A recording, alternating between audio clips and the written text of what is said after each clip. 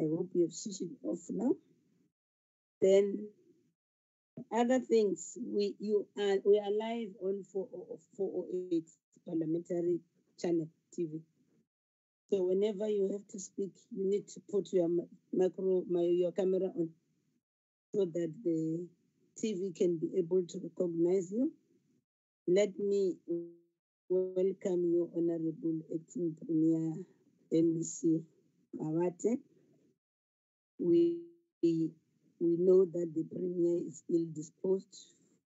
Then and then also let me welcome accompanied you by the DG Popo, also to welcome the MEC for COGTA, uh, MEC in Tembeni. TV can be able and to the MEC for Public Works and Living Settlement, MEC Oloibo, also to welcome MEC COGTA and uh, also the MEC, the delegations that are accompanying today.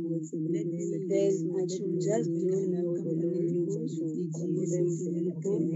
also to welcome members of also the post delegations, MEC the records. Uh, the members who are here also to welcome members and the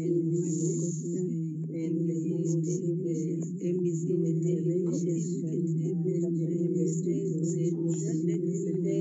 Brett Kawa, members who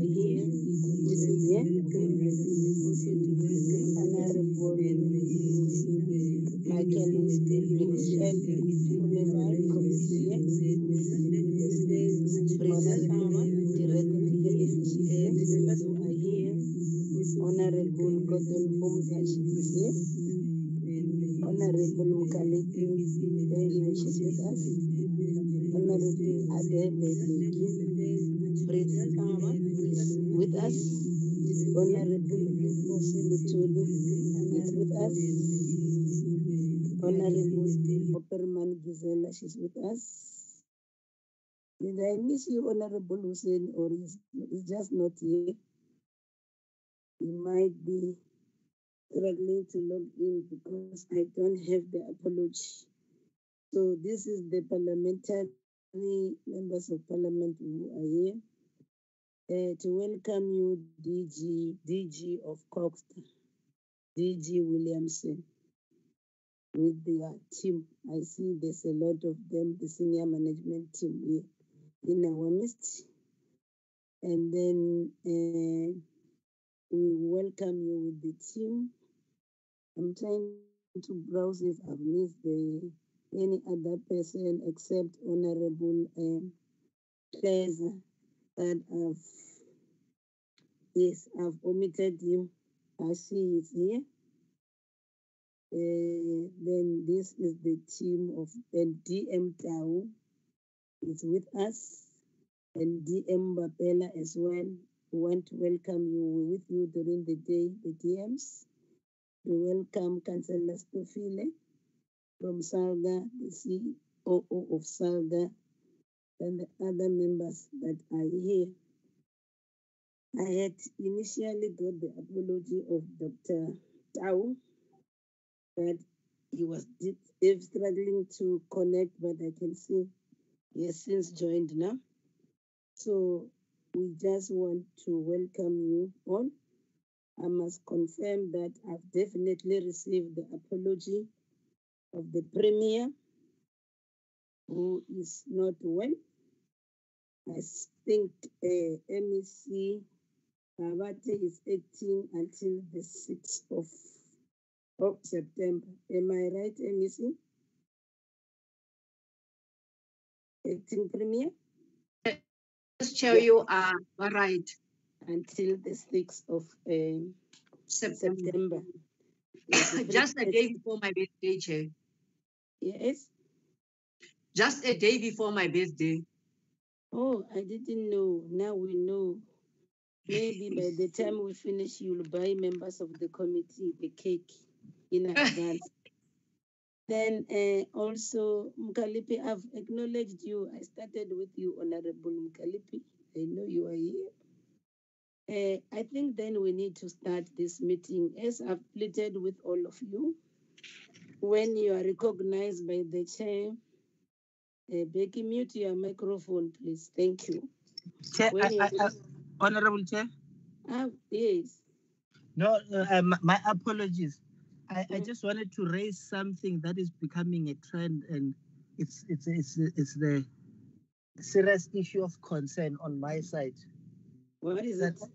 ever since we have started, Chair, it's only the Premier of Western Cape that managed to to be present. Uh, Uh, because it comes from where you come from. Yes, I'm, I'm, I'm not sure whether it's the trend that we're going to see going forward. I just wanted to be noted as a matter of concern. Okay, your concern is noted. But you recall going to have follow-up meetings with all these premiers. The mere fact that they didn't appear before us. So we'll see if they will still. But in this case, this one, there is an apology and the evidence to that effect that MEC Qabathe has been shown in. She's not acting for a day, like what you've seen with others. She's acting because the premier is sick. She has even been sworn in. She's not standing in for a premier, like what we've seen in other instances. She's an acting premier based on the fact that the premier cannot execute her responsibility due to her ill health.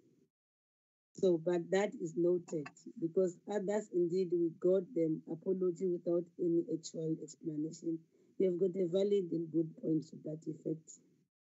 Yes, and uh, when we invited the premier of the Western Cape, he never hesitated. He came and still committed to come back again. So the concern is genuine and is noted. And uh, like what we also experienced during the day, uh, Premier Qabathe, the hmm. mayor of Maluti-a-Phofung was absent without any valid explanation. So, as a trend, like Honorable Hadebe is saying, we're observing a trend where they are running away. They don't want to come and account to the committee. But it's a matter for another day. And we are meeting today, colleagues, and taking you back the memory line. You may all recall that the epicenter of the COVID 19 outbreak in Free State was a church gathering in Mangaung, Bloemfontein, which took place over over four days early in in March. In attendance were five COVID infected visitors from abroad who passed the virus to several attendees, including our own fellow members of parliament. It is here that we learned for the first time that the church gatherings are potential key clusters for COVID 19 infections. This became the rationale for the subsequent regulations to limit the church and other social gatherings to no more than 50 people. It is remarkable that early April it became possible to trace 1,600 of the 1,700 people that had been in contact with the 859 people who attended the massive church gathering. A decisive move to act quickly in the Free State witnessed national mobilization of resources to the area for a large scale testing, tracing, and quarantine. This is how the Free State became one of the success stories of the early days of the pandemic. The, the province appears to have sustained these gains. As the report to the committee, it indicates that out of the 20,896 identified close contacts, only eight are untraceable. The rest you have managed to trace them. However, as the committee, we have the view that uh, you could do better to improve the recovery rate of 60%. which is low by comparison to the national recovery rate of 82%. This is also extremely low occupation. This th- there is also extremely low occupation of quarantine sites across the province, the exception being Xhariep district. 101 of the 105 beds in Fezile Dabi are empty. Only eight of the Ligela Butwas 195 beds have warm wards. So in Ligela Butwa, uh, out of the 195 beds, uh, you only have uh, eight. Yet this is the district with the highest number of COVID-19 related deaths due to mining activities taking place in the area. Mufutsa- Mofutsanyana and Mangaung are slightly busier, with the district having 36 out of the 271 beds occupied, and the metro using 47 out of the 210 available beds. The province must assist us to understand the factors driving this trend. We are also interested in the capacity of the province to implement the regulations relating to interprovincial and international travel during the current and previous levels of the lockdown. In your report, you cite the challenge the three states to provinces with high COVID 19 prevalence, as well as neighboring countries. By neighboring countries, you are perhaps referring to the challenges around policing of the province border uh, with Lesotho. Finally, given the heightened sensitivity around COVID 19 procurement, the province will also do well to go into more detail on its PPE expenditure in terms of the list of suppliers that benefited from the PPE contracts. From your report, we can only see the amount spent per district and the amount spent by each provincial department. There is no indication as to which companies benefited from these tenders and whether these were all above board. So as we are going to interact with you now, Premier Qabathe, we look forward to your good selves to take us into your confidence on these matters. With these few words, I'll hand over to you. Uh, these few words, that thing is starting again, and I'm trying to check who's this person who's doing this now. I'm gonna get the person not so long, don't worry. So I'll hand over to you, uh, Premier Qabathe.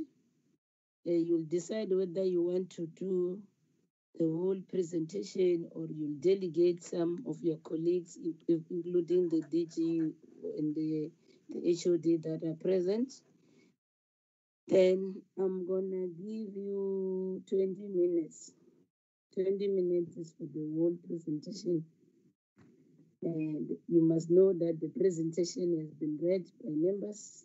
We want to appreciate you that you submitted it within the prescribed period of the 24 hours submission requirement. So I'll hand over to you, MEC, Acting Premier.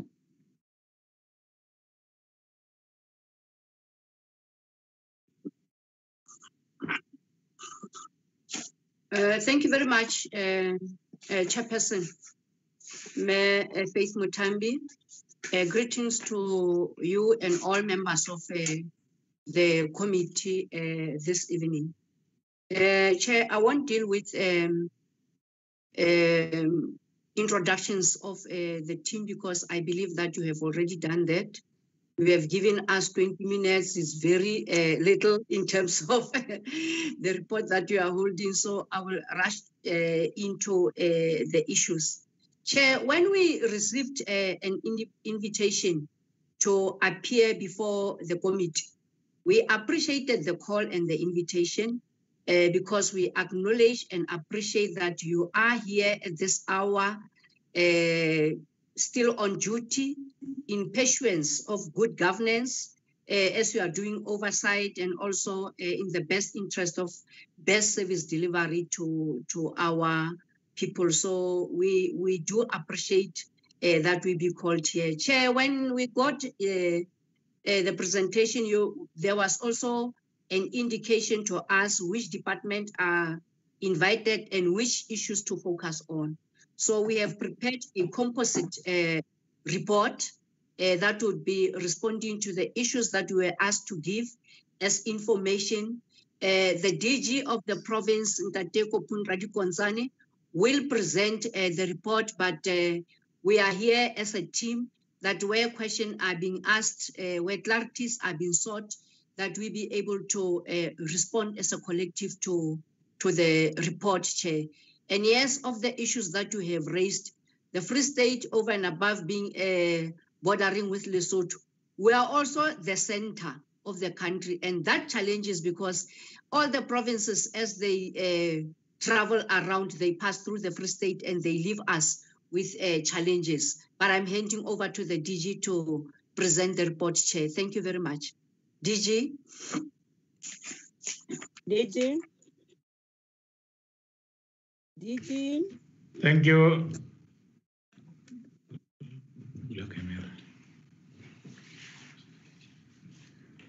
Thank you very much, uh, the chairperson. Can I, should I flout the, the, the, the presentation?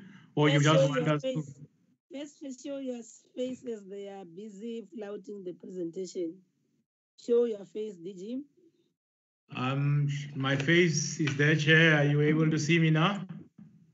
Colleagues, can you see the DG? Okay, let's No, Chair, we can't see him. we want- We don't see. I don't know. I can see him when he's- It's a strange one, Chair. Are you able to see me? My camera is on. No, we don't see the you. Presentation. There's a demand Yeah. for you to be seen by members. not I you. want him. We want him, Chair. Am I too dark, Chair, that I cannot be recognized? Present. Maybe. When we finish, you'll switch on your camera again. They My want to see camera is on and I'm showing the hand, Chair. Thank you, Jefferson. I have tried to um, uh, put the presentation on the uh, on the slide. I um, I want just to confirm with you that you are able to see our presentation. Yes, the presentation we can see, all of us, we can see your presentation. Okay, they are sharing it from their side, Chairperson. Uh, Can I get the next slide? Okay. We, we indicate that uh, uh, you'll see our presentation. You have indicated that members have gone through that. Our presentation is based on the six key strategic thrusts, the inclusive health response, provision of food and shelter, provision of water and sanitation and enforcement compliance measures, the economic recovery plan, the governance recovery plan, and we are concluding, Chair, um, we uh, indicate, Chairperson, that uh, we, as the provincial government, have embarked on this so that we are able to deal with the surge, and uh, our surge has come in uh, uh, July now and August. You would see as we deal with our numbers here, Chairperson, that we were at a very lower level earlier on, but the situation was that in July we got a very big surge. Can we move on? Uh, already you have given this background, Chairperson. I'm not going to stay long on it. Can we move on?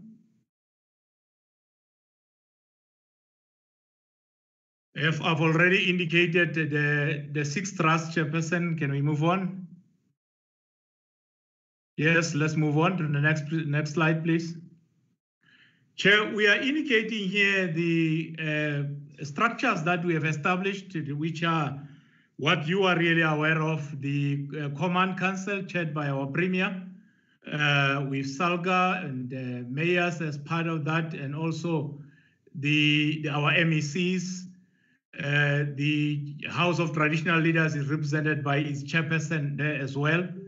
The Command Center is chaired by the Director General, with all national and provincial departments represented by the heads. and uh, co-chaired by Health and COGTA. Then we've got ProvJOC, which is chaired by the DDG COGTA, and there are those co-chairs there, chairperson. Structures are duplicated at our district level, and uh, they say also the the, stri- the structure that are chaired by the municipal managers at that level with representation of all our departments. Chair, we have consolidated in our program of uh, the Command Council, the national deployees who already found our provincial deployees doing work in districts, uh, the champions, uh, working with the mayors as uh, reflected on our slide, uh, Chairperson. Can I move on? Next slide, please. So, Chair, I think what is critical for our purpose is the flow of information. All reports uh, from local and district structures are processed by the provincial uh, command center, which I chaired en route to PCC. And uh, uh, we are uh, ensuring that uh, the meetings of the command council meet as regularly as possible. During the first two months, it was uh, on weekly basis. Now, subsequently, the meetings are held bi-weekly, both at district and uh, at provincial level. The center and other operational structures meet three times a week, Chairperson, to, to deal with pro pro processes. We have faith-based organizations represented, business and mining are at our district jobs, and also institutions of higher learning are part of our, our own processes at this level. Chair, I would want uh, HOD uh, Health to immediately deal with our health approach. I'll give him that opportunity and then I'll deal with all other thrusts from here. And I will, uh, I think he will in five minutes just deal with that part. We don't have time. HOD uh, Dr. Mdao.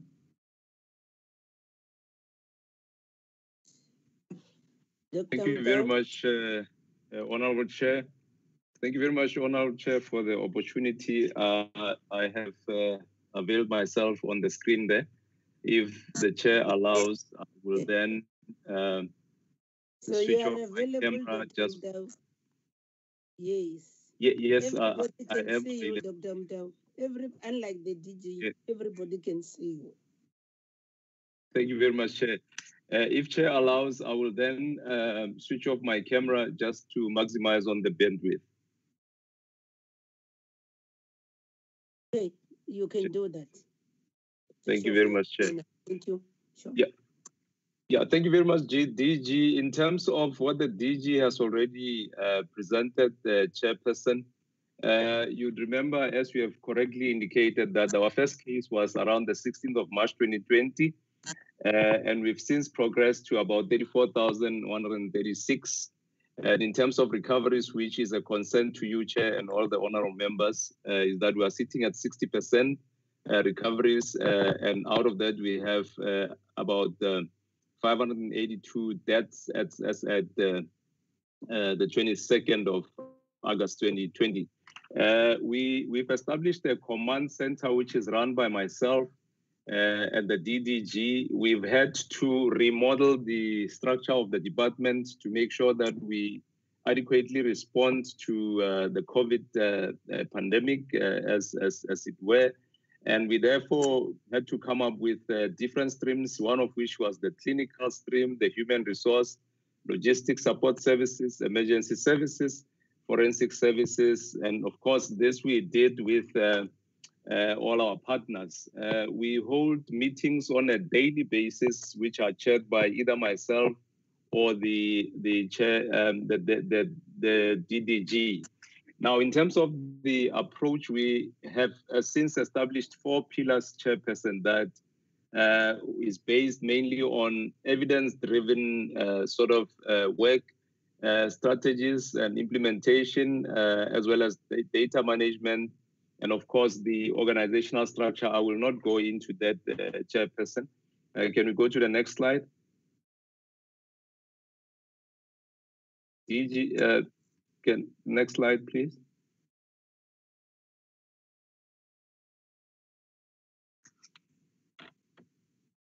Uh, there seems to be a delay, Chairperson. All right. Now, in terms of the uh, the, the, the overall strategic response, uh, the, the, the main aim of the department was to halt the transmission of the uh, SARS-CoV-2 in the Free State to mitigate the impact of COVID-19 on the health and well-being of the citizens of the province. Now, in that, we had to make sure that we strengthen the health sector coordination and governance for COVID uh, uh, response in the Free State, strengthen health information and surveillance system. And I must emphasize, Chair, that it was through this uh, health information system that we were able to do most of the things. But of course, we also had to ensure health systems readiness against the epidemiologic, epidemiologic curve, including enhanced capacity of facilities to mount effective uh, COVID response. Next slide, please.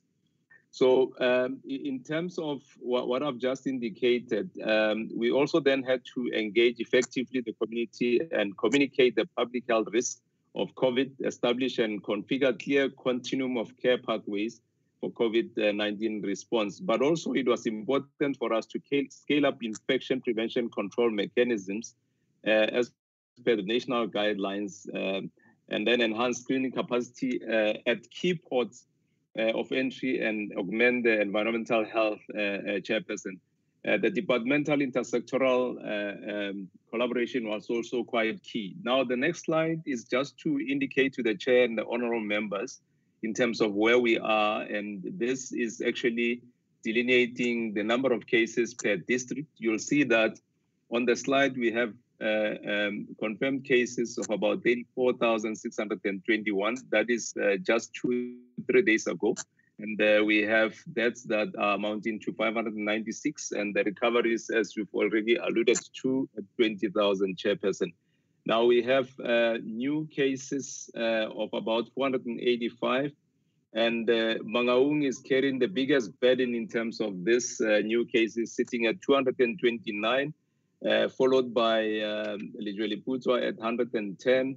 And the next one was Thabo Mofutsanyana, and then uh, Fezile Dabi, and lastly Xhariep, uh, as it were. Uh, this, uh, the next bullet points I've already spoken to. We can move to the next slide.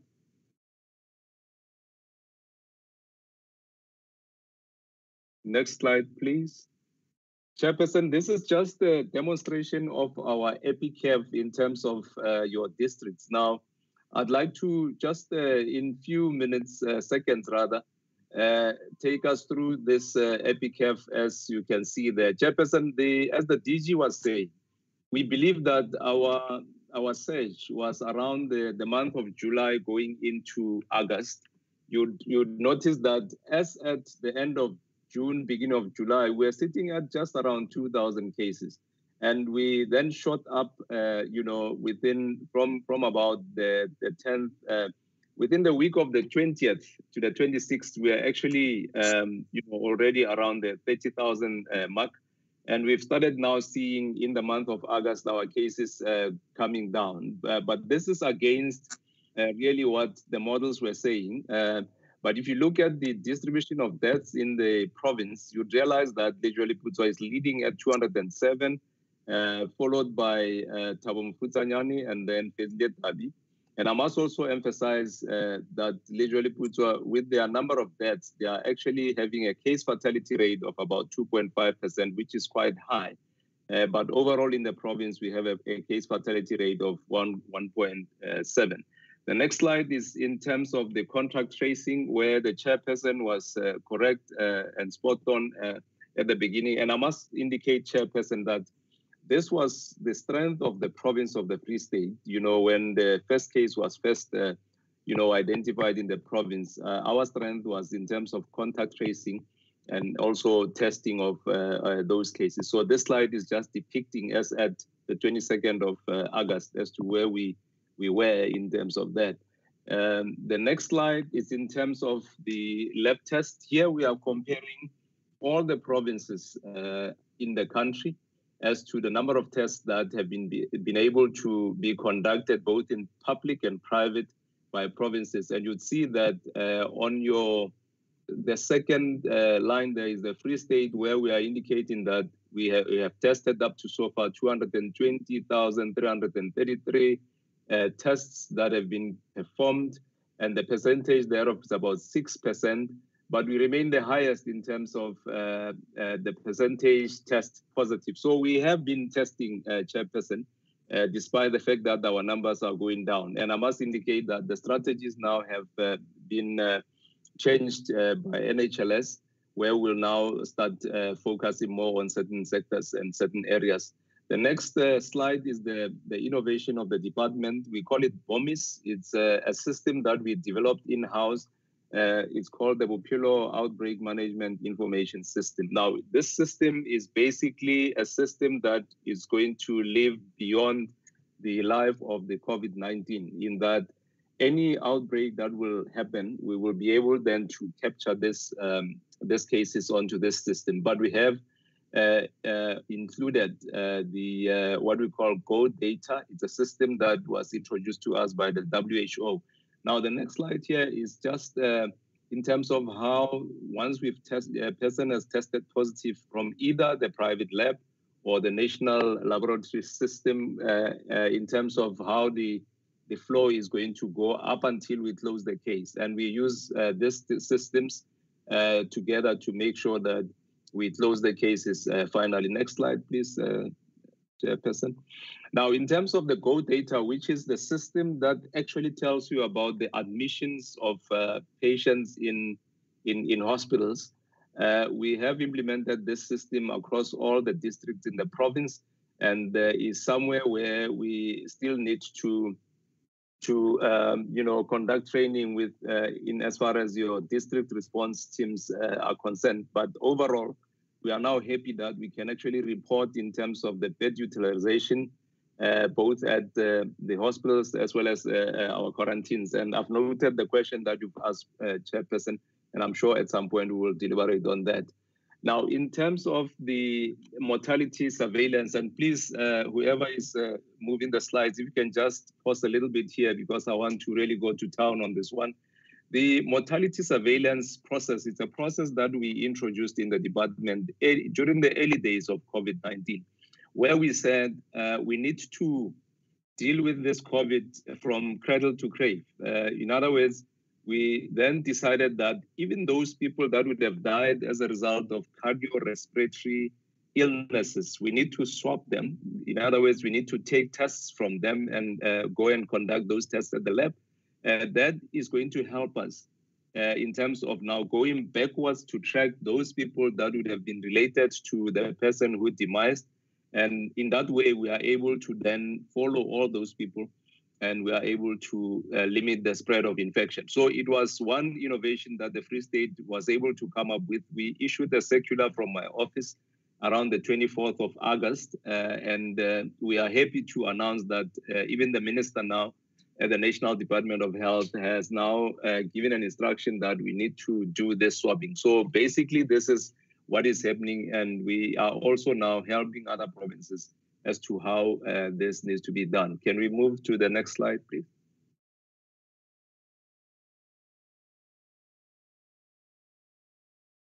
Now, of course, we, we would not have have gone through this chairperson without any challenges. And here we, we really are trying to demonstrate in terms of what the challenges would have been, uh, some of which would also address some of the questions that uh, the chairperson would have asked. But I must say that uh, working in collaboration with the command uh, center uh, uh, of, of, chaired by the DG, we are able to work together as departments to deal with these issues. Just quickly to rattle through the some of the challenges. One of the biggest challenges would have been the logistics and safety of healthcare workers conducting screening in the community.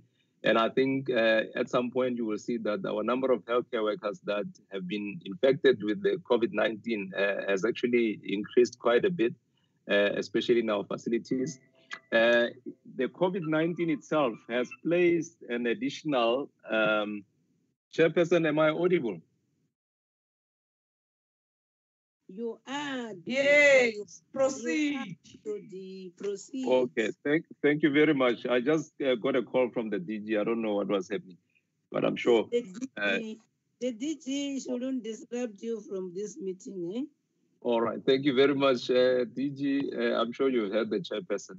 Now, the second part, uh, Chairperson, that mm. has always been a problem and a challenge for the for the Free State. COVID-19 came into a system that was already overburdened. Now, uh, we then found ourselves in a situation where we got burdened even more. Uh, and of course, we needed to then uh, put heads together and make sure that we reprioritize and repurpose some of the healthcare services. But we were quite resolute, person, in terms of what we needed. We knew very well that beyond COVID, we, we should remain with a strengthened health uh, health system that is going to make sure that uh, beyond this, we are able to provide healthcare for our people, but also to make sure that uh, in terms of the NHI, we are better positioned to can uh, deal with that. Uh, but one of the biggest challenges, of course, as I said earlier, was that some of our healthcare workers were infected, and that led to closure of facilities. Uh, we also had uh, one of the biggest challenges, which was the cluster-based infections, such as those uh, at churches, funerals, workplace, and schools, fueled uh, the increase in the number of new cases in the province. Of course, the testing capacity, as it has always been said, was a problem. Can we move to the next slide, please? Now here, Chair, um, we are demonstrating in terms of the, the, the number of quarantine sites uh, in the province and the, the bed occupancy in that regard. And maybe I can then take an opportunity here to also uh, try and respond to the question as to why uh, uh are this some of these districts uh, bed occupancy so low. Now, Chairperson, um, what will then happen here is that we will quarantine those uh, individuals that are unable to quarantine themselves. That is the first part. But the second part is that you would also have then some of those that would have tested positive that would be in hospital. If you look at the next slide where we are demonstrating in terms of occupancy of our hospitals, you then realize that both in public and, and, and, and, and private, we have a total of about 571 beds that are being uh, occupied. But you also have uh, the, the biggest challenge which we, which we are trying to address in terms of stigmatization that uh, this COVID 19 has come up with. Um, in fact, you'd find that people do hide themselves now because they don't want to be labeled as as as, as COVID 19. Uh, just to give you an example, um, the other day somebody was asking another person, "Where do you stay?" And this person said, "No, no, I'm staying at that house." And then the response was, "Oh, next to the COVID." You know, so so this is to which uh, this uh, stigmatization is going to create problems for us. But we're already uh, developing strategies as to how we're going to deal with that. Next slide, please. This slide is just demonstrating uh, the number of healthcare workers that is a worry to us. Uh, a total of 2,665, both in public and private uh, chairperson, have, have been infected. And uh, the bar graphs there are just showing in terms of the number of, uh, I mean, the number per district. Uh, Mangaung is uh, very high there, as you can see, followed by Thabo Mofutsanyana, Lijwe Leputswa, and then Fezile Dabi, and, and that. Now, uh, in terms of the recover, the recoveries thereof, we are quite happy that uh, most of them have recovered, the chairperson, and the number of deaths, of course, have been indicated there. Chairperson, I think I'll stop here and allow the DG to continue. Thank you very much for the opportunity. HOD, I also called the superintendent general. No, no, we don't have that uh, luxury chairperson of being called the SGs. I'm still the HOD. But it's still the HOD. Because the, at that time, uh, Honorable Mkalipi met the SG from Eastern Cape. So we wanted to understand whether you're also called yes. SG. yes. No, I'm I'm still I'm still humbly called the HOD. Uh, the HOD. and I like. Thank you. Over to you, DG. Thank you, Chair. We we've uh, given you information from also um, uh, Department of Correctional Services is a containment area which we are basically worried about. We've given you. We can see you now, DG. We can all see you now. okay, thanks, Chair. Uh, so uh, that's that you are aware of from both screening inmates and also the officials. Next slide, please.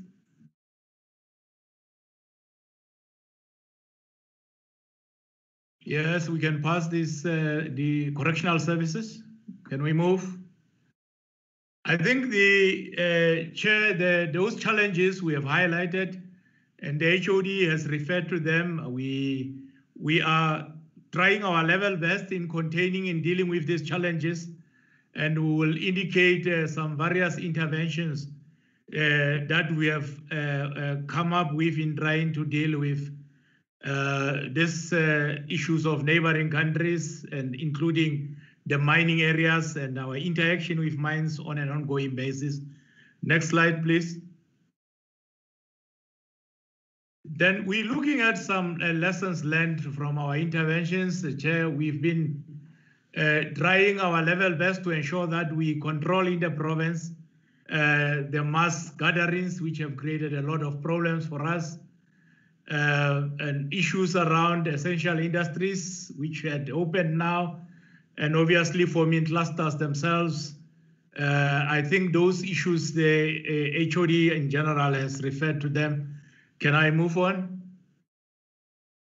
Uh, uh, I'm also indicating that there has been a rapid response in aggressively investigating our cases. Uh, this helped us a lot to contain this until uh, around July when we now had uh, community transmissions or community infections that were taking place, uh, Chairperson. Can we move on? Let me move on. First, we have to date issued about 6,500 food parcels in the province. Um, in, with a lot of partnerships, we're indicating our partners there, also uh, from our SASSA and but also from the provincial uh, government uh, chairperson across our districts. There are also shelters for the homeless individuals. We started with 332 uh, in our various district chairperson, you will see now the number we have is 164. A number of them have been uh, uh, reunited with their families. Others who were from Lesotho and so on were deported and, and so on. So that, that, that part was dealt with. We requested to deal with grants. We the old age grants over uh, uh, 1 uh, million uh, grant recipients with 896 million per month. We can move on. we are also indicating the beneficiaries per district. We can move on. Uh, the uh, social relief of distress food, food parcels distributions, these were done with uh, SASSA, and we've also indicated that figure of 10,978 in our overall 66,000. One area that is critical has been the 350 unemployment grant. Uh, chairperson, you will see that uh, we have 296 that were approved in our province with 98,000 uh, females and uh, 198,000 uh, males.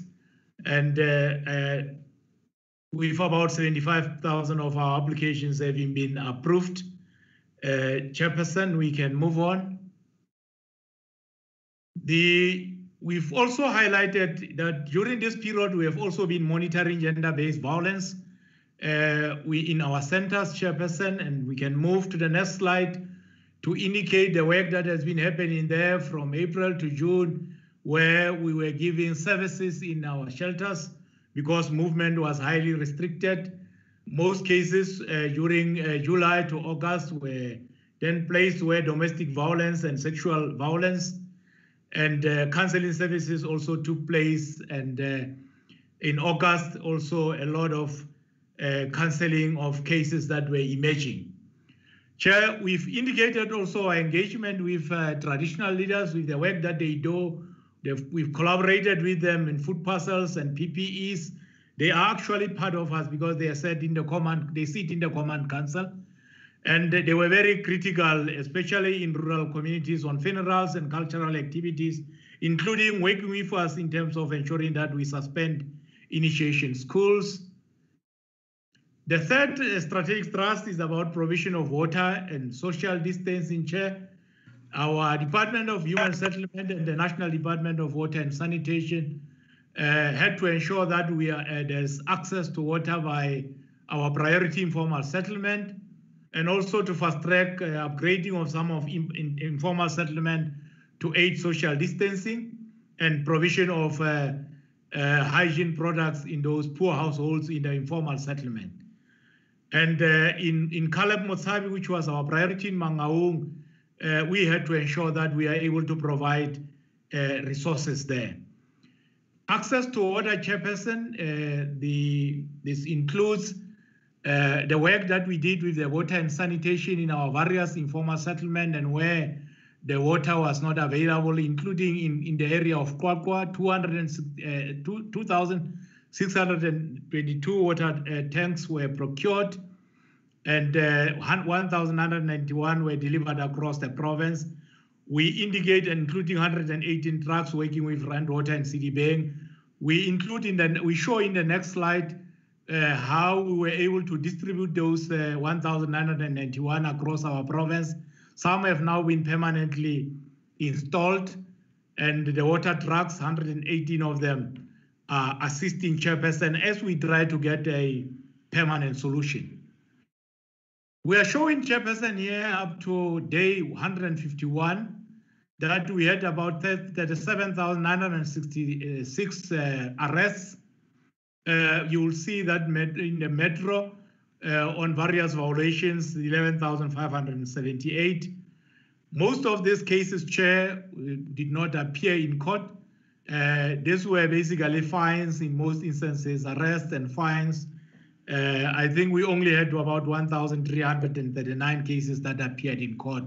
Basically, we are indicating that uh, the province has been stable in terms of uh, uh, uh, the lockdown regulations, and we work very closely with our law enforcement agency within our ProvJOC, and we've come. We also came with a strategy of dealing with food parcels to limit instability and chaos that we are seeing in the in terms of people trying to access uh, food parcels, and we are also monitoring the uh, illegal crossing of uh, our borders. The economic recovery initiative chair would have included what, is, what was happening national. We demonstrate how the Free State was able to access uh, about 143 of our applicants were approved. Uh, the NYDA also approved uh, 65. The, the SEFA and the small business, they were able to uh, give us 10 million for spaza support and also uh, uh, we are indicating some of the, the other areas that happen. We, do, we created our own provincial incentive, chairperson, around spaza shop, around informal business, around enterprise support and risk sharing. We are showing applications that have been approved in our various districts uh, uh, and also the estimated jobs. You will see that, uh, that we demonstrated that there. We also created our own relief in the province. Uh, uh, an amount of 3 million was disbursed on, federa on federations at least and NPOs. Uh, we can move on. Next slide, please. Also, uh, relief funding for arts and uh, uh, culture, artists, and for 4IR processes 4.5 million. This is provincial initiatives, Chairperson, where we're uh, coming up with some interventions. We show here, Chairperson, the expenditure of the 396 million, and uh, the chair has indicated we, we will provide to the secretariat the spreadsheet of companies because we, we, we were able to uh, indicate that uh, uh all companies and we we advertised, uh, actually we, we, we put the companies on our uh, um, um, websites and published in the newspapers as well of the 396 million that, that has been spent. You'll see that provincial treasury has the highest spend in the sense that the province had taken a decision that uh, provincial treasury will uh, procure PPE on behalf of all departments. We can move on. Next slide, please. We are showing that expenditure per districts in our province. We have tried to ensure that uh, uh, our uh, um, uh, companies in various districts are able to uh, uh, benefit from the PPE expenditure. You will see that Mangaung has got the highest expenditures. We show also about the designated groups, uh, black-owned companies, youth-owned, uh, military veterans, women, and uh, the disabled, uh, which is a figure that uh, is, was, is very low, Chairperson, quite insignificant from a percentage-wise. We can move on. Uh, we ensure that, uh, as I indicated, provincial treasury uh, was able to uh, um, procure on our behalf of all departments. Uh, however, now we have started to decentralize to departments, Chairperson. Departments were also able to repurpose some of their grants. Uh, social development also had to employ new social workers to so that they could actually provide psychosocial support and of course, we made money available for sports as our own uh, local processes. The return to school program, uh, uh, Chairperson, uh, obviously schools reopened on the 3rd uh, of August after that short uh, closure. Um, the grade sevens reopened in our province on the 11th of August. We were able as the province to phase in all the the the uh, grade 7 and 12 and grade 6 and 11 without major challenges. We are showing there the total learners that we are we have to uh, face in close to uh, um, a, a, significant number of uh, close to 685,000.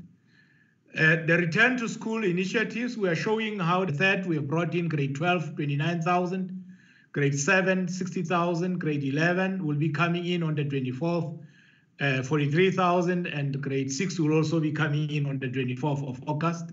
Can we move? Uh, you will see that there are also a program set up for schools or special schools chairperson and schools of skills. Uh, we can move on. There are challenges for the sector, of course. Uh, we have to ensure that we get uh, uh, uh costs for additional cleaners and screeners. The sector had to appoint 2,241 cleaners and 2,241 screeners. This has put a lot of burden with 250 per month.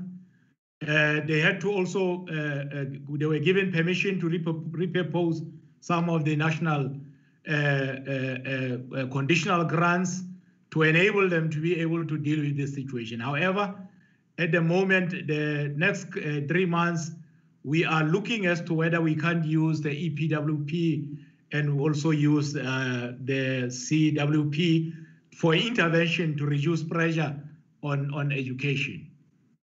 Schools were vandalized. Of course, this were uh, work in progress to deal with them. Uh, also nutrition, around 20% of the learners pitched during this period, which created a lot of inconvenience because schools were preparing food, but collection was very limited. Um, obviously, social uh, uh, distancing in hostels is an issue, and some schools are starting to use bunker beds to try and deal with the situation. And uh, we have 1,676 approvals of teachers with comorbidities which has got a lot of impact on teaching and learning chairperson. We are also indicating the uh, uh, learners, teachers, and non-teaching staff which have tested uh, positive in our uh, province chairperson. That figure does demonstrate that there, there's, there's infections that are taking place in our schools as well. The, the matter of school disruptions was attended to. Of course, uh, other people were simply uh, getting out of hand to intervene. Of course, teach, uh, learner uh, organizations were addressed. But during the month of August, serious campaigns on public uh, uh, quality learning and teaching are taking place to ensure that we mobilize everybody now to come back to school at the appropriate uh, processes uh, or dates that we have determined. Uh, there's rotation model of grades so that we are able to deal with social distancing. And what is very critical for us as well is to ensure that uh, uh, grade 12 and, and grade 10 to 12 are prepared sufficiently. And uh, of course, learners and teachers with comorbidities have been provided with resource packs and tablets to ensure that we are able to deal with the situation. Cleaning and disinfecting of all our facilities uh, is, is taking place every day, uh, and all schools have uh, COVID-19 files. And of course, adequate functional ab- ablution facilities have been made available, and we continue to ensure that uh, there's a single entrance for learners and teachers so that they could be screened uh, every day. Can move on. The service providers have been appointed uh, to assist in terms of uh, facing in the learners, um, uh, in terms of giving uh, the PPEs and the, the markers. We are already preparing also for the markers. Uh, 2,171 of them will be appointed uh, to ensure that we are able to deal with marking at an appropriate time. The department indicates here the timetable model, Chair, uh, on a variety of schools. I won't uh, take time. Traditionally unchanged, uh, 110, 386 on daily rotation, 196 on weekly rotation, and 39 uh, platooning, and uh, 304 of them using uh, the hybrid model. We can move on. Of course, COGTA plays a critical role. The, the, the, the MEC for COGTA is the deputy chair to premier in uh, the command council and therefore they are overall responsible for coordination of the disaster management center. And uh, they have developed uh, working with salga standard operating procedures uh, around audit of municipal land for cemeteries monitoring of funerals phasing in of municipal employees report of covid-19 cases coordination of departmental war rooms and they are working very hard with DBSA and MISA for interventions to ensure, especially on infrastructure. Of course, we are communicating, we have set up consistent messages. Messages have been uh, repeated with uh, uh, uh one message with many voices, and our command council uh, continues to engage communities on national and uh, community media platforms. And also, with fake news happening in everywhere, including in our province, we've got a, a team of monitors who are looking at this fake news and giving factual information to our communities. We continue to talk about the toolbox uh, or the toolkit of uh, social distancing, washing of hands, uh, putting on masks. Uh, that's our continuous message, Chairperson. We can move on. Of course, the uh, PCC has looked at us building a resilient provincial government with a strong health uh, uh, system. Uh, and we, we continued, as the, Dr. Mudawi indicated earlier on, as we deal with uh, COVID-19, we are preparing our facilities for universal health access. Also, we're working, uh, the Triple PCCC worked on uh, having to maintain consistent water supply. We still have got challenges in Maluti-A-Phofung. You might have had uh, uh, engagement with the municipality during the day. Uh, the, uh, the public health measures there also in uh, the PCC has looked at and ensure that we are able to deal with overcrowding and provision of clean water. Of course, education, uh, to ensure that we try to see whether we can't use EPWP and some community works program uh, to offset budgetary pressures in terms of the people that we have appointed. Uh, we have to foster a, a, better coordination in terms of the implementation of our budget between departments. And uh, of course, we have got a document now of deep cleaning to ensure that our buildings or standard operating procedure, uh, which we have consulted with organized labor so that we don't uh, uh, close buildings from time to time. And the issues of harmonizing gender-based violence and proper coordination uh, with justice, health, and uh, office of the premier. And we, as we conclude, Chairperson, our task is to continue to ensure proper coordination of the provincial government departments, national departments that find offices in our province, our municipalities, and all stakeholders so that we can also work on a strategy beyond COVID 19 to deal with poverty, unemployment, and inequality. And we are also working through this, uh, the district development model to ensure that we are able to create uh, and align our plans to create a one plan for the province, basically fitting into one plan for the country. Thank you very much, Chairperson. Thank you so much, DG. Thank you for the presentation. Yes. Though you exceeded my time, you've just extended your stay here tonight, DG. But it's fine. Let's proceed. Colleagues, can I see who wants to interact with the province? Kalipi, I can see you, Kalipi. Who else? Lutuli, Osulotuli. Opperman, I can see you. Who else? Kaiser. Who else? That's all? One, two, three, four. And Honorable Hadebe. You know the rule, what you must do.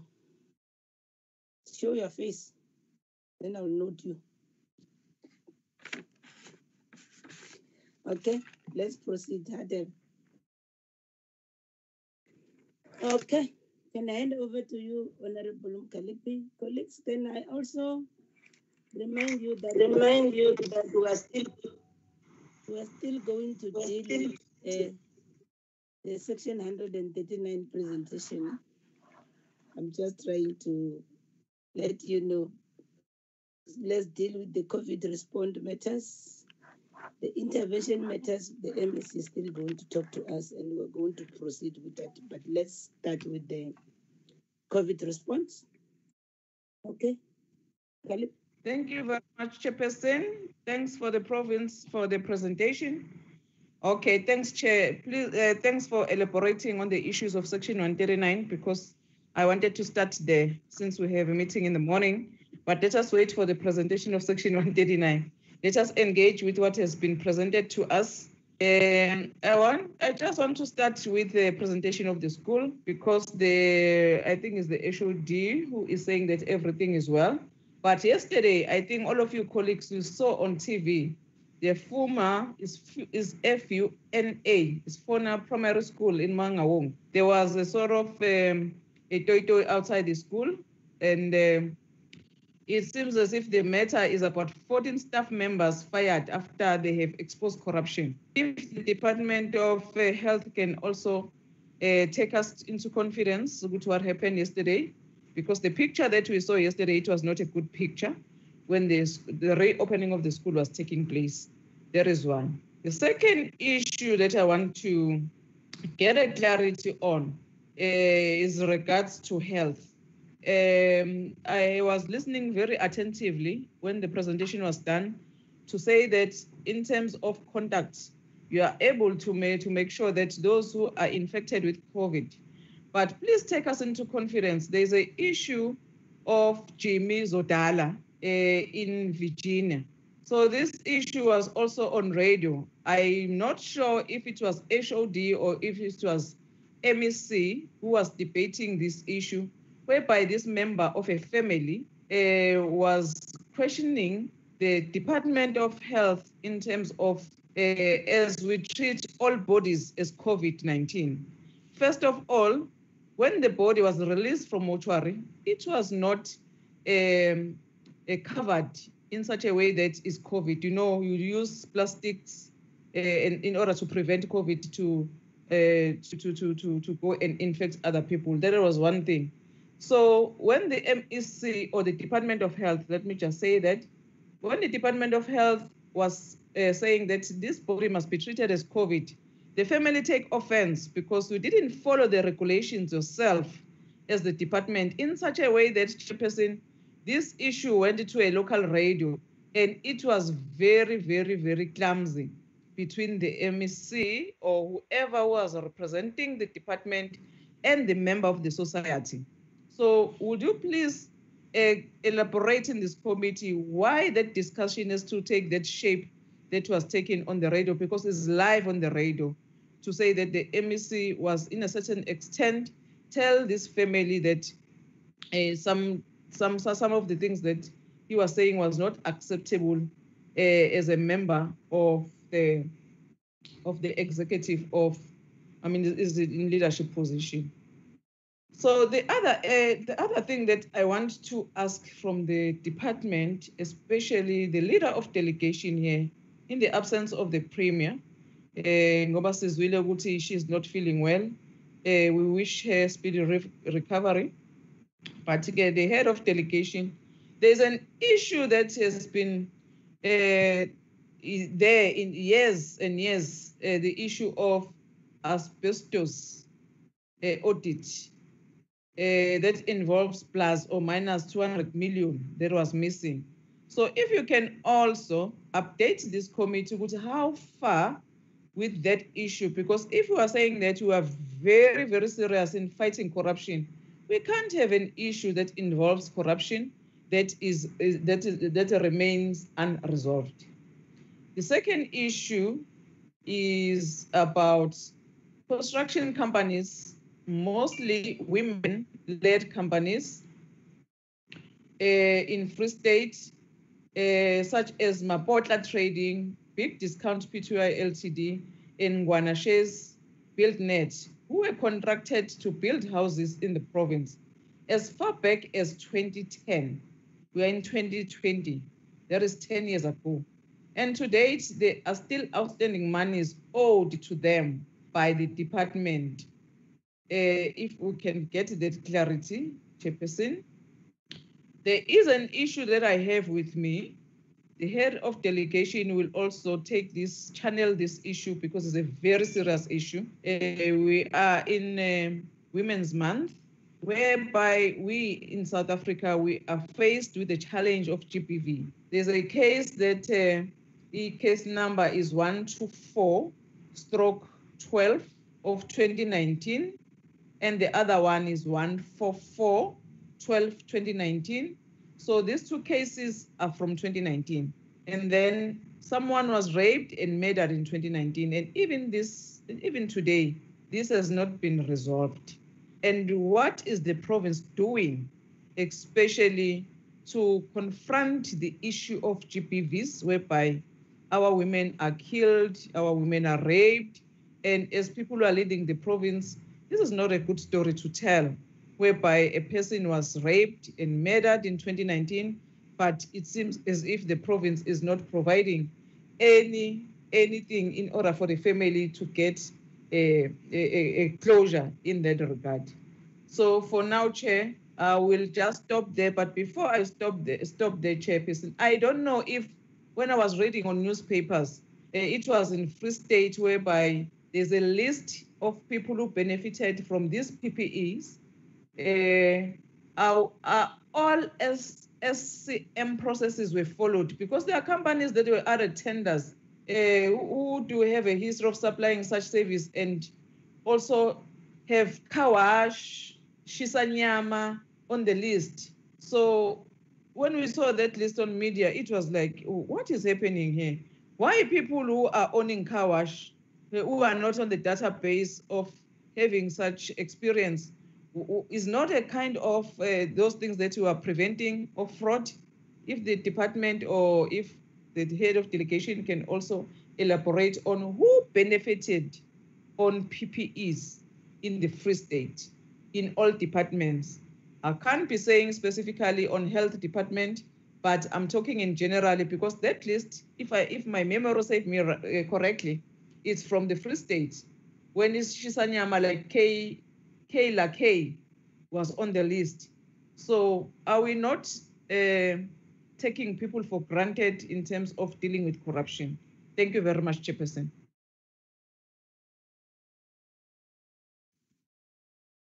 Thank you very much, Honorable Mkalipi. The next speaker on the line is Ndabezita Lutuli. Utuli. Th- Thank you very much. Thank you very much, uh, Chair. I, uh, to the delegation, I got only, I think I got two questions. Uh, It's, it's about the, the, the, the relief fund where we, where they, they specified as if there are seven hundred and eighty-four uh, people who applied, and then three hundred and sixty they were rewarded, and 400 and 424, which is uh, uh, declined. My question is, it's how did the, the provincial determine those applications that uh, merits to approval and those that did not? And those, pe- those people who were declined, are they allowed to, to appeal to the, to the decision of the adjudicator committee if they are allowed, where they can allow. Uh, if they can't allow, uh, why not? And the, and the second question is that uh, is pertaining about the schools. What is the, the, the financial of the schools vandalism in the province? uh, what has been ex- uh, uh, what has been what has been uh, uh, uh, no, uh, in the province what has what has been the expenditure cost occurred in in the repair and the building of and the damaged schools infrastructure I think, Chair, let me hold on on that. Thank you, Chair. Thank you, Nkosi Lutuli. The, uh, can I, thank you so much, Nkosi Lutuli. Can you mute your microphone, please? Yes, thank you. Then, can I hand over to Honorable Opperman? Thank you, Chairperson. Um, through you, Chair, to the head, to the leader of the delegation, your PPE tenders have also been on social media and in the news. So I'd like to know when will the audit on COVID-19 procurement be available? Because Treasury promised in the news that they will do an audit on COVID-19 procurement. Then I'd like to know what are the reasons behind the case, the high case fertility rate in Lejweleputswa, and also the most teachers were infected in Lejweleputswa. So, what are the reasons behind that? And your Go data, I'm very impressed with that innovation. Did you train current staff as data capturers for Go data, or did you appoint new people? How much did it cost you? who financed it and will it go beyond COVID 19? And then you also appointed 92 social workers. Were they appointed permanently or was it only for COVID 19 purposes? Thank you, Chair. Honorable Opperman. I want to recognize Honorable Kaiser, no? Uh, Thank you very much, Chairperson. I I have a few questions on COVID-19 uh, in terms of the province. Uh, In Harrismith, uh, there are seven, uh, 625 shacks that were built for dedensification, uh, which cost seven, seven, 75,000. So if I make my calculations and uh, uh, I, I get 50 million 625,000. Uh, how, how possible is that calculation?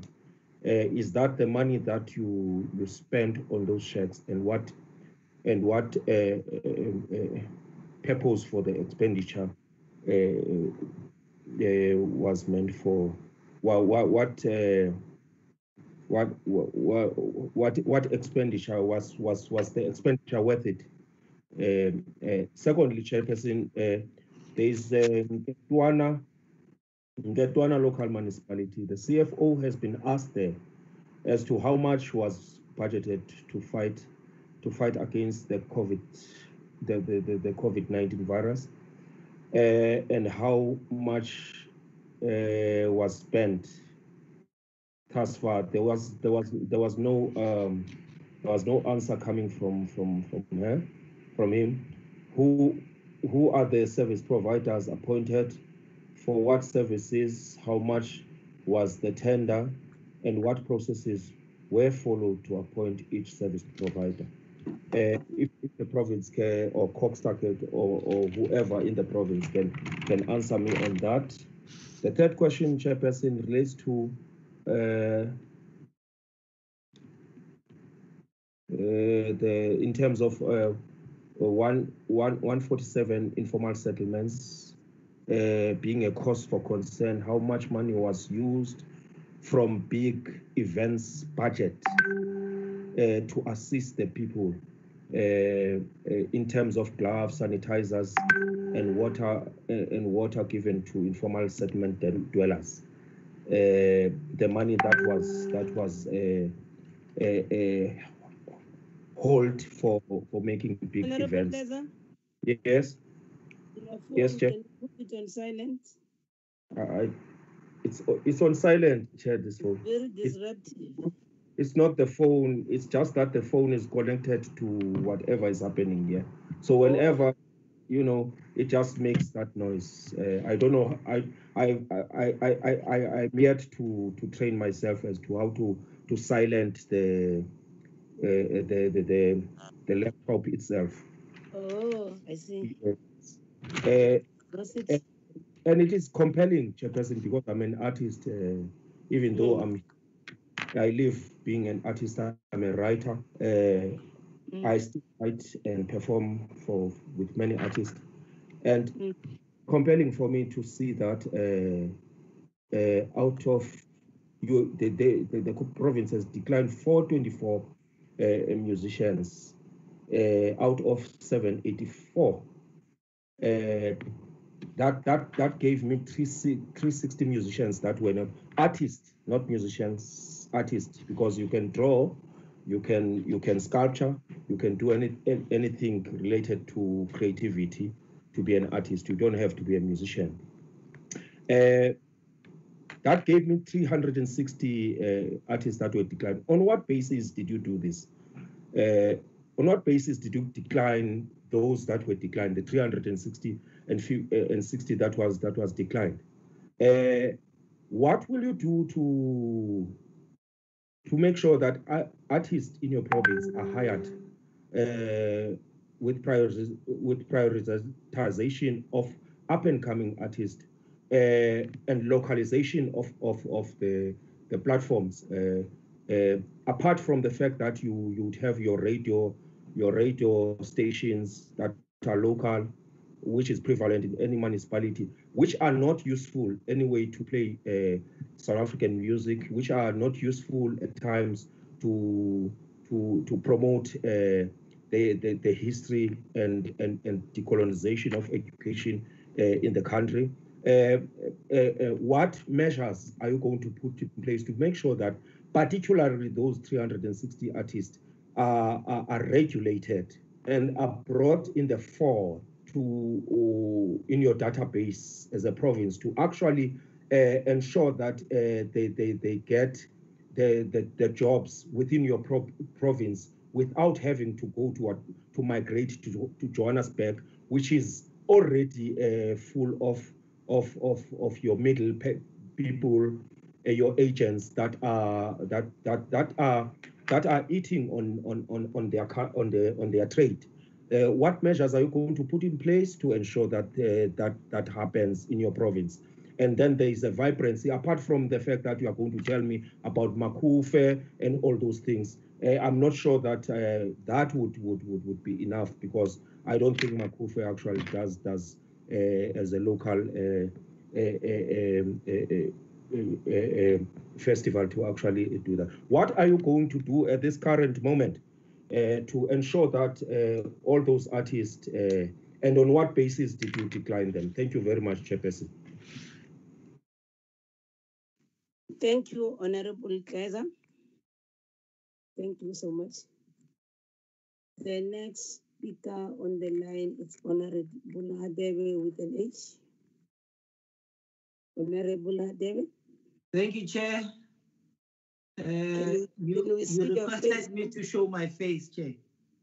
Hmm. Yes, uh, um, I'm home finally. And let me take this opportunity, Honorable Chairperson, to welcome the presentation. And then even though I had initially raised issues and concern with the trend that we were seeing in terms of um, premiers not uh, being available, but I think it is, uh, uh, uh, Chair, uh, uh, uh, appealing to see the delegation, the number of delegation. I have counted 16, and with not less than four MECs present. Uh, Chair, uh, that indicates a province that is uh, taking issues of oversight and accountability serious, Chair. And having said that, Chair, I want to raise an issue or a question of what has been uh, talked about in the media in relation to a perceived corruption in relation to procurement of either PPEs and other goods and services that relate to COVID 19. And I want to premise my question by reading what National Treasury issued as an instruction, uh, number eight of 2019 2020 uh, with specific reference to reporting requirement, which is uh, section 3.6 check. It reads as follows, that all procurement in terms of uh, an emergency procurement related to COVID-19 must be reported to the relevant treasury within 30 days. The report uh, uh, uh, to the relevant treasury must contain the following information. Description of an item, meaning the goods and services that is procured, supplier's name, unit price, quantity, total price, savings achieved when compared to the price list on Annexure A, meaning that there is an annexure, uh, a, a list of prices issued by National Treasury. Now, in an event that any goods or services that was procured, uh, the province uh, achieved savings, such savings must be reflected. But if they deviated from such, a motivation on deviation on the item needs to be forwarded. Now we are on the fifth month, Chair, of the lockdown and the pandemic that has hit our country. The question that I would like to pose to the department, but first I must put it up front that not everything that is black is associated with corruption. And it is our quest, as we had resolved in our last conference, Chair, to advance the radical socio-economic transformation. But in so doing, uh, our advancement of radical socio-economic transformation must not be marred with corruption. I'd like to ask the, uh, uh, the province whether or not they have submitted all procurement of goods and services to the relevant treasury within 30 days. And in their reporting, they have not uh, uh, uh, come across uh, of a procurement of goods and services where there are questionable uh, uh, uh, procurement and or inflated prices. Is everything that was procured uh, by the province of Free State above board and have they conducted the due diligence? I'm raising this question, Chair, because uh, the Free State Treasury, it's on record on media saying that there is nothing wrong in awarding contracts to politically connected individual, as long as the company uh, uh, has followed the, uh, the criteria and they meet all the criteria in terms of supplying goods and services. Now, there's issue of procedural fairness and rationality, even if you're dealing with issue of an emergency.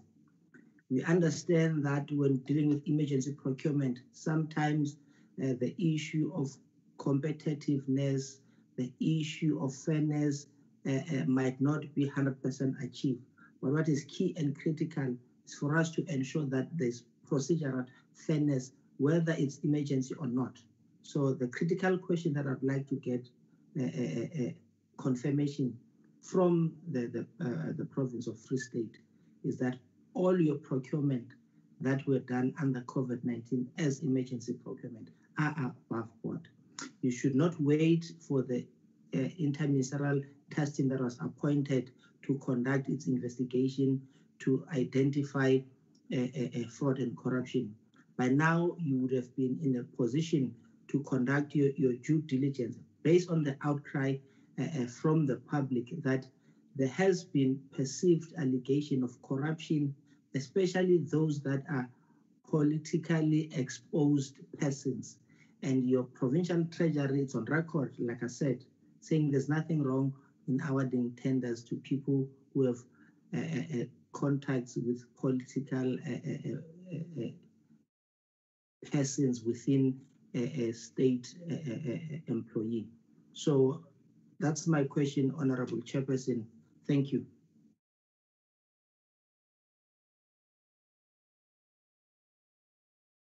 Honorable Director.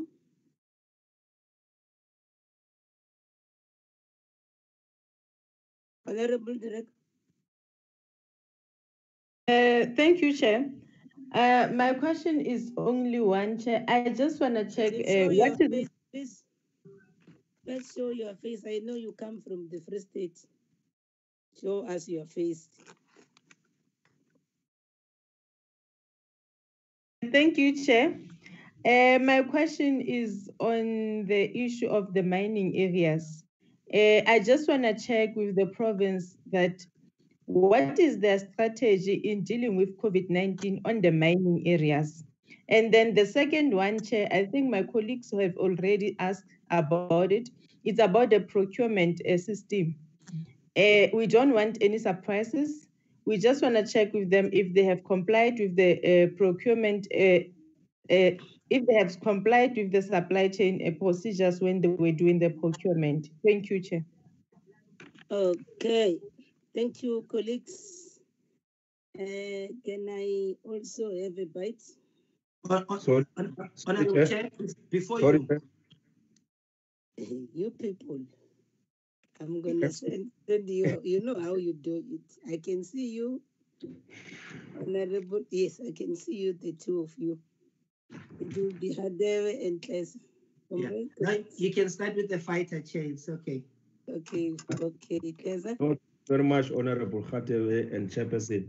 Uh, no, Chairperson, I, I, I, I was afraid that I had left something on the issue of Harrismith.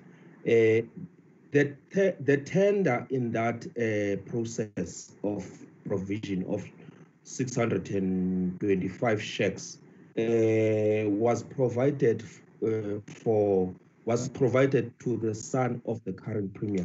So can they uh, clarify whether that uh, finding is is is consistent or not, and and and how did he that the son of a a political leader Uh, uh, secure a, a, tender and, and, and, and, and whether that is a, a, a, a, a proper process uh, to, to, to, to follow. Thank you, Chairperson. I'll come back on another on other questions. Okay. Hi, David. Thanks, Chair. I, I, I wanted to also get an understanding in terms of the entire list that has been published and, and, and, and supplied to National Treasury. Um, out of that list, how many SMMEs have benefited? Uh, I'm raising this question uh, based on what I've raised earlier on in pursuit of our radical socio-economic transformation, whether or not there has been a, regard in, in, in that space of ensuring that uh, the SMMEs are, are, beneficial.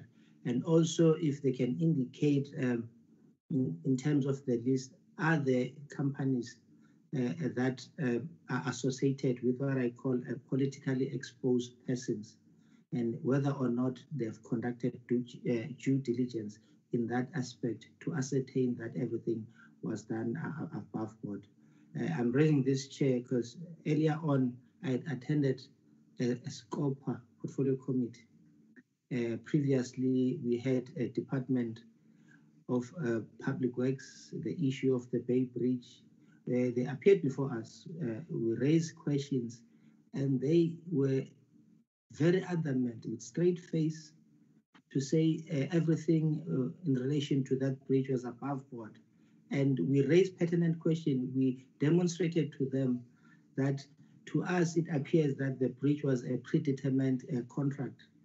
And a few months later, yeah, today, this morning, we, we were proven right.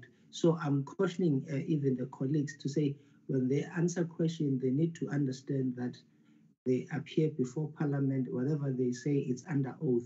They shouldn't follow uh, uh the same uh, uh bad example that was displayed with the officials of the Department of Public Works. As we speak, uh, 14 of them are facing disciplinary proceedings. So it's just a, a plea and, and a caution on their side, Honorable Chair. Thank you. Thank you, Honorable Hadem. Uh, can I check with the colleagues from the Free State? On the 6th of May, a total of 22 municipalities in the province are said to have been allocated money by the COGTA nationally, the National Disaster Management Center, to the tune of 8.6 million. The funds was meant for PPEs, sanitation and hygiene, hygiene packs. Unfortunately, to date, no spending has been received by COGTA nationally, leaving the province with a 0% spending. Can the MEC of COGTA indicate how this situation would be remedied to ensure that also the National Department of COGTA can be able to account to National Treasury and also to give us as the committee assurance that citizens are receiving the necessary services because this was money meant for disaster. If to date, uh, acting premier, the money is not yet spent, what, what does that mean? Where is this the money meant for the poor? The other issue that one wants to raise is with regard to the issue of the provincial disaster management plans. Uh, Section 39 of the Disaster Management Act provides that, as well as the Provincial Health Disaster Management, Management Plan that is provided for in Section 38 of the Disaster Management Act. These plans are very crucial. Can we get an assurance whether these plans are in place. I want to hear that from both the COGTA MEC and the MEC for Health. Are those plans in place? If not, when will they be developed for implementation in the face of climate change and increasing disaster occurrences? One will also want to know what is the capacity of your provincial disaster management center and whether it has a suitable building. I'm raising this because uh, when we started as this committee in May, in May um, 2019, we got a briefing on the state of the disaster in the entire country. If the building is not suitable, what is it being done to ensure that the center is placed in a suitable building to ensure its, effect, its effectiveness and business continuity. In line with the COVID-19 response provincial thrust on water and sanitation, what is your plan to adapt to drought risk in the province for communities and farmers? And what are the resources allocated to ensure climate change adaptation and non-resilience in disaster grants?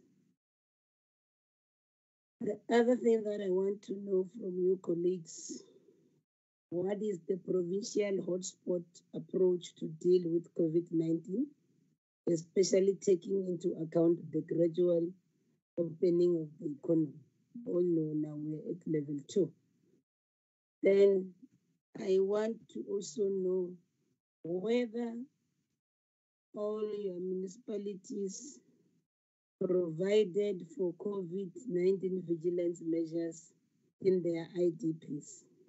We all know that municipalities, while we're on the lockdown, they were busy with consultation and we were right in the mix of the COVID-19 disaster. That could have uh, then uh, caused the municipality to put vigilance uh, measures in the IDPs.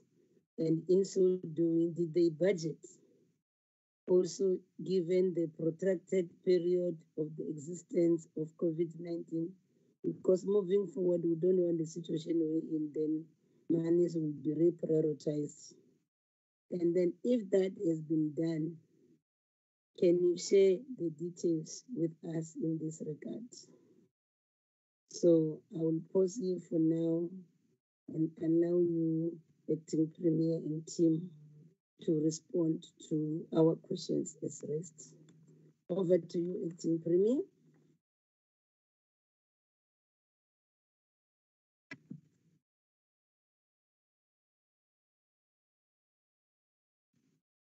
No, uh, thank you uh, very much, Chair.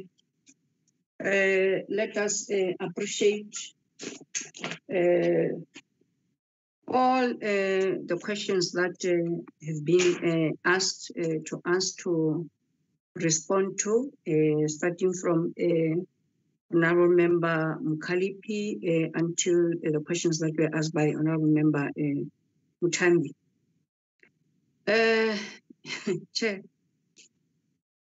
had we been aware that um, the scope of questions would not be uh, limited to the work of the departments that are invited, but would extend to other departments, uh, would have um, uh, invited all of them because really some of the questions are expanding to some of the departments uh, that are not here, but we'll try by all means to give information as much as we can uh, on all the questions that are, are asked.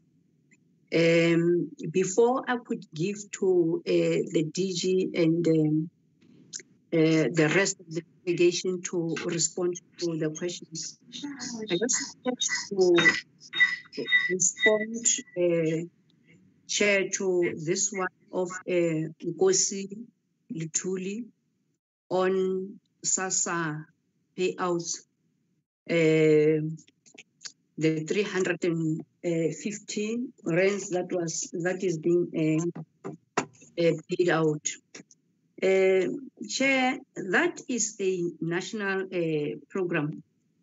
the payouts are being done by SASSA on behalf of the Department of Social Development at national level but because we are getting reports from SASSA in the province of the work that they are doing, we felt that we should include that in our report because uh, it is the work that is happening in our province by SASSA.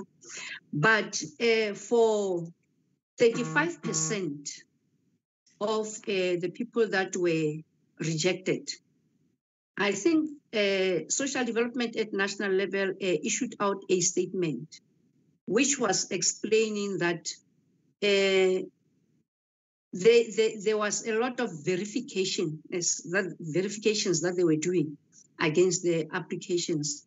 some were uh, disqualified because they were already getting other grants. You'll find that either the person is on UIF or is getting any other uh, grant anywhere. If they pick that up, they disqualify you. Others you'll find that they did not give uh, full information. Uh, maybe when you punch your ID number, you have missed a number and all that, it kicks you out. So there were a variety of issues that they explained to why uh, the people uh, could not uh, comply to get the 350. But they also explained in their statement that they are going back to those that did not comply because it's a it's a great uh, it's a much greater percent at a national level. In the Free State it's 35, but at national level it's a much higher uh, percent. That they will go back to all those that were disqualified and cleanse and check whether uh, there are others that were supposed to get uh, the grant but were uh, disqualified. Uh, that's what uh, they they explained, uh, Chair. I was just saying maybe I should deal with that one because um, it, it, it, it falls on the portfolio that I am leading of a, a social development um, much as I came as an acting uh, premier. On uh, the rest of others, Chair, um, the departments are here. The DG uh, will guide uh, the departments to respond to the questions that were uh, posed to them. Let me appreciate, Chair, uh, that um, Honorable Member Becky Hadden has put this thing of um, corruption in a proper way to say it is a perceived uh, corruption. Uh, they will talk on it, but I just want to say, for for for for us to say, uh, Treasury should buy for all other departments. It is only uh, the Department of Health as a frontline department and the Department of Education as a frontline department that uh, were not part of uh, uh, being bought for